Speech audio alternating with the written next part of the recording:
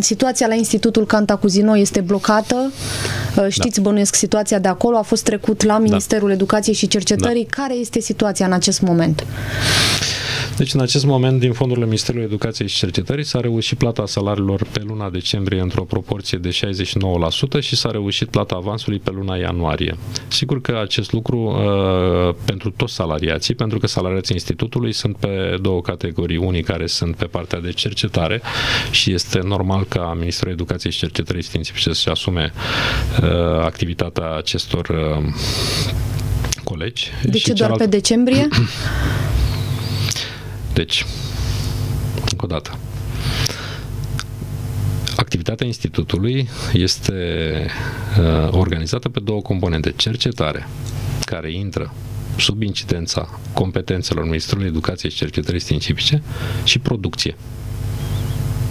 De producție nu se ocupă Ministerul Educației și Cercetării Științifice. Din fondurile pe care Ministerul Educației și Cercetării le-a dat pentru activitatea de cercetare, conducerea institutului a decis să plătească uniform și personalul angajat, sunt 494 de angajați, și personalul din cercetare și personalul din producție. Deci atât au ajuns fondurile. Există un comitet interministerial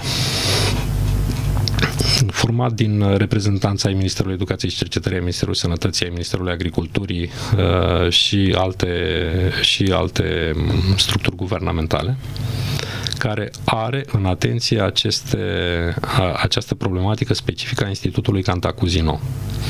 Intenționăm uh, legalizarea activității acestui comitet interministerial chiar în ședința de guvern de mâine, iar după ședința de guvern de mâine am lansat deja o invitație celor de la Institutul Cantacuzino, chiar la guvern, pentru uh, discuții într-un cadru care să fie asigurat de uh, aprobarea acestui memorandum privind Comitetul Interministerial de Lucru.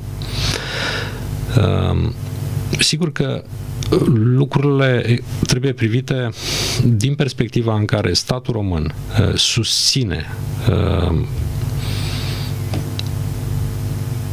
Institutul pentru derularea activităților de cercetare și producție.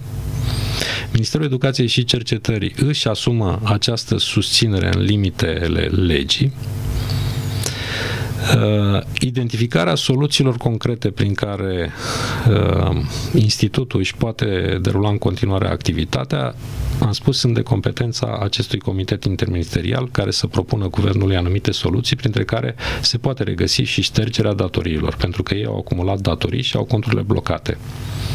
Soluția Dar aceasta... simultan cu ștergerea datoriilor am discutat și cu conducerea demisionară a Institutului și cu reprezentanții sindicatelor din cercetare și, și producție și am căzut de acord asupra faptului că este necesară și o restructurare a activității Institutului.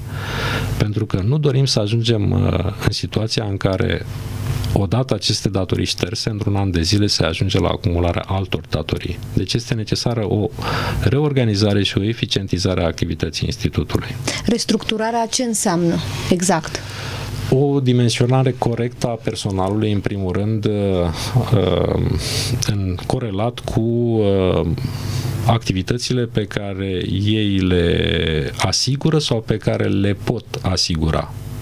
Adică în momentul de față nu se produce acolo nimic. Asta înseamnă și situația e gravă de câțiva ani, e blocată. Există mai multe mai multe explicații uh, sunt de natură tehnică, de natură economică, de natură, de natură financiară pentru care s-a ajuns în această situație.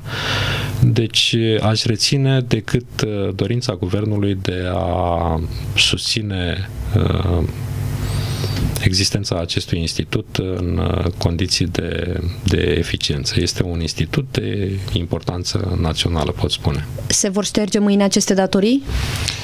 Deci nu pot să mă antepronunț. Există uh, Ministerul de Finanțe care trebuie să ia în uh, calcul uh,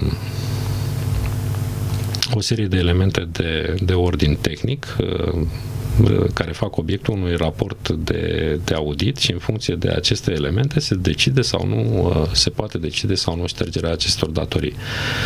Noi propunem ștergerea datoriilor în paralel cu inițierea măsurilor de restructurare și de eficientizare. Restructurare înseamnă să plece jumătate dintre angajații de acolo, nu un sfert. pronunța, asta va, va face obiectul unei analize tehnice pentru fiecare activitate, numărul de personal necesar. Există aceste discuții deja, deja demarate și sunt în curs. Ca orice negociere în curs, nu ne putem antepronunța că trebuie să rămână din cei 494 de angajați, să rămână 300 sau 350 sau 400. O să vedem uh, strict tehnic și fundamentat. Uh, se ia în calcul, ultima întrebare pe acest subiect, se ia în calcul o privatizare cu un institut străin, de exemplu, sau cu o companie străină? Nu, nu am luat până acum în calcul această soluție. Am luat în calcul susținerea guvernului pentru uh, existența acestui institut. Îmi pare rău că trebuie să vă întreb tocmai pe dumneavoastră care, uh, mă rog, aveți cea mai mică legătură, însă situația e blocată acolo de atâția ani și toate guvernele au promis susținere. Atâta susținere a fost încât noi importăm toate vaccinurile, toți foarte mulți specialiști au plecat de acolo, totul e blocat, institutul de la Iași e închis filiala. Da, nu trebuie să vă pară rău, e normal să mă adresați această um, întrebare și e normal să vă răspund că face obiectul preocupărilor noastre în sensul celor uh, pe care uh, vi le-am prezentat.